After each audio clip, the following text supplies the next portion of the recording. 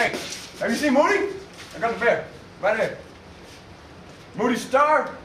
I, you were, you were supposed to get her a beer. You're supposed to get her. I got her a beer. I got her some coffee. Hey, you know, I got a girl named Kathy. you got all three of those things. I got Kathy in coffee right now. No, I got a beer you- right here. No, no. You, Moody. you, hey, Yeah, hey, hey. I'll give it to let me just, let me just. You gotta finish your match. My, I didn't even start my match. Look how you doing? Tell me. No, it's my match. finish your match with PC.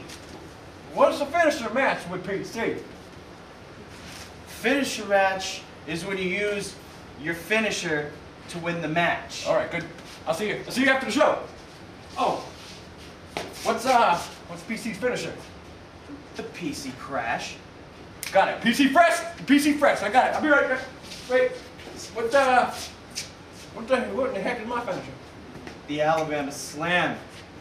You're right. You're, you're right. I'll see you later. Idiot.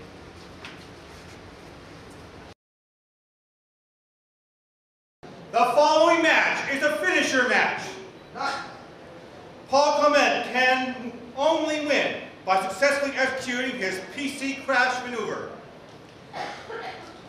While Troy Garbo can only win by successfully executing his Alabama slam maneuver. Entry first and hailing from Brooklyn, New York. It's Paul Clement. Welcome back to the Sane show, ladies and gentlemen. It is now time for the finisher match, in which Paul Clements, PC Crash, will be going up against Troy Garbo's Alabama Slam. No pinfall submissions, countouts, or DQs required in this one. All you gotta do is hit your finisher. What the hell is Bianca Wild carrying out to the ring? That looks like the odd end of a shower, uh, a shower rod. And Paul Clement looks a little wet. Did he uh, slip out of the shower and come to the ring and break the shower rod and decide, hey, that'd be nice to bring to the ring with me, a memento of breaking a shower rod in the locker room. Maybe that's the case for Paul Clement. He looks pretty enamored with his uh, shower rod. Here's we get ready and await the arrival of Troy Garbo.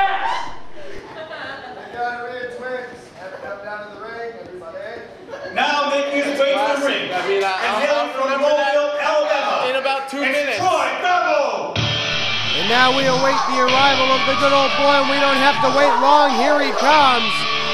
Getting set for this finisher match. This isn't the first time we've seen Garbo here tonight. He helped his tag team partner Shatzo Bannigan out earlier on tonight when Sage Zarello switched the whiskey with milk. And uh, DWI wanted to make sure that Sage Zarello got a taste of some uh, whiskey or some alcohol before he left here tonight.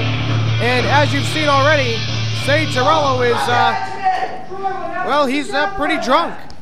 Some dang old rap bastard stole it out of my deck bag downstairs. Somebody inquiring as to uh, where Troy Garbo's usual cowboy hat went. Uh, apparently, he was also the victim of some theft. Shatzo Bannigan's flask got stolen and uh, Troy Garbo's hat. Oh, and Garbo gets punched right in the side of the head by Paul Clement to start off this finishers match. As it was said before, ladies and gentlemen, the only way to win is for Paul Clement to either hit his PC crash or Troy Garbo to hit his Alabama slam. Paul Clement with a side headlock on Troy Garbo. Garbo with the head scissors brings him around to the front. And Paul Clement floats over back into the side headlock on the good old boy. We still have two more action-packed contests here to come this week on The Sane Show. I guess your alternative for Aftermath this week. We will see Carnage versus Morenci 3 when those two monsters battle in a dog collar match.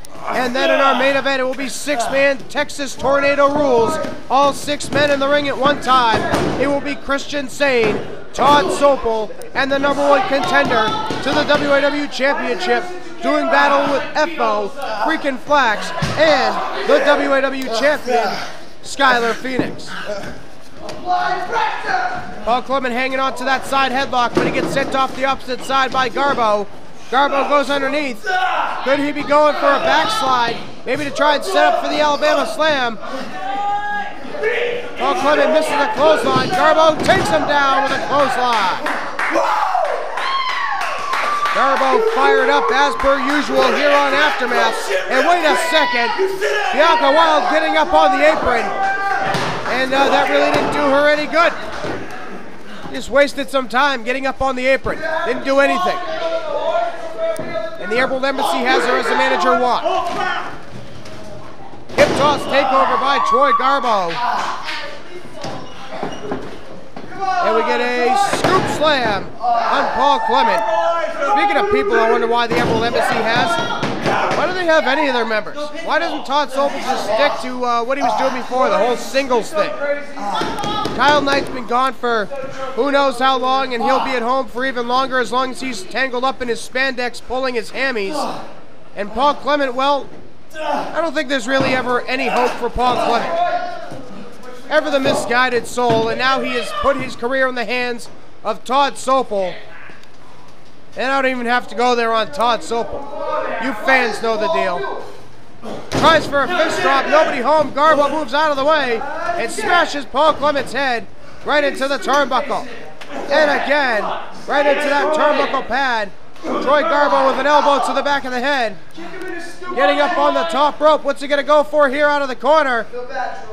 And we get a bulldog off the top rope, taking Paul Clement down. What a maneuver there by Troy Garbo.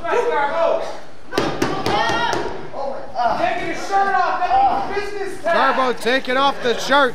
That usually means it's time to get down to business. Will you have my inbred baby? We get a low kick by Paul Clement. He gets hit back into the corner by Troy Garbo. Irish whip into the far side. Garbo coming into the corner, going for the Irish whip again. Sends Paul Clement in once more. Get in, hit the bottle. One more time. Yes, it is. Three times. He dropped his head. He's got him up. It could be time. Alabama slam. No, Paul Clement reverses out. Rolling through, but he hangs on to the legs of Troy Garbo. Could it be time for the PC crash? Yes, it is. PC crash, and Paul Clement picks up a huge victory with two weeks until annihilation, and it's the final aftermath. Excuse me, the Sane show before annihilation in two weeks, and Paul Clement walks out with a huge victory for Team Sane over Team FO. Good action here this week on Aftermath. But coming up next, ladies and gentlemen, it is going to be the dog collar match between Carnage and Major Morpheus Morenzi.